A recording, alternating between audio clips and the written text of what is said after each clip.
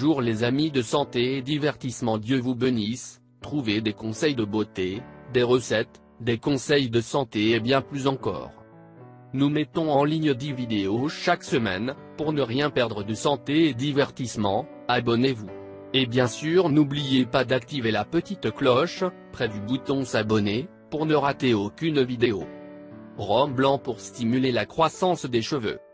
Dans le cas de l'oignon et du gingembre, la chaleur n'est pas nécessaire, car ceux-ci seuls l'encourageront. Oui vous avez bien lu, cet article parle de rhum comme un stimulant pour la croissance des cheveux, et je dois préciser que les recettes suivantes sont à appliquer sur le cuir chevelu et de ne pas prendre un rendez-vous avec des amis. Le rhum blanc, en particulier, est utilisé pour sa capacité à extraire ces substances essentielles de certains ingrédients, comme c'est le cas avec les teintures. Comme vous n'avez pas à vous soucier de la gueule de bois, ces recettes peuvent être préparées avec le rhum le moins cher que vous pouvez trouver sur le marché.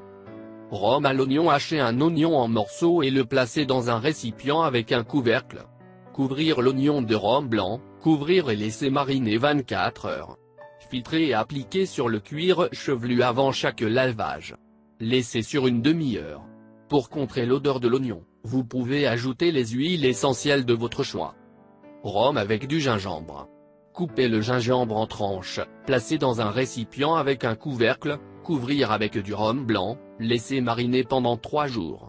Appliquer sur le cuir chevelu avant de laver, masser doucement. Laisser sur 15 minutes à 1 heure. Rhum avec pomme Mélangez une tasse de rhum blanc avec une tasse de pomme hachée, laisser mariner pendant 5 jours, filtrer.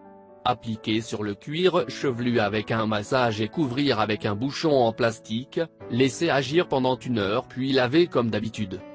Comme on peut le voir, on vraiment rhum en tant que tel n'a pas un élément qui aide directement à pousser les cheveux, mais il est un bon moyen d'extraire les propriétés des autres ingrédients. Il est très important de vérifier que le cuir chevelu n'a aucun type d'irritation avant d'appliquer ses colorants. Dans le cas des oignons et le gingembre, la chaleur n'est pas nécessaire, parce que ces deux aliments sont leurs propres représentants de la chaleur, et encouragent une meilleure circulation du sang dans le cuir chevelu. J'espère que ces recommandations vous aideront à atteindre votre objectif capillaire. Je vous demande de nous faire un commentaire, même si c'est un bonjour, car vos commentaires nous motivent à continuer à faire beaucoup plus de vidéos pour vous. Merci de nous avoir visités.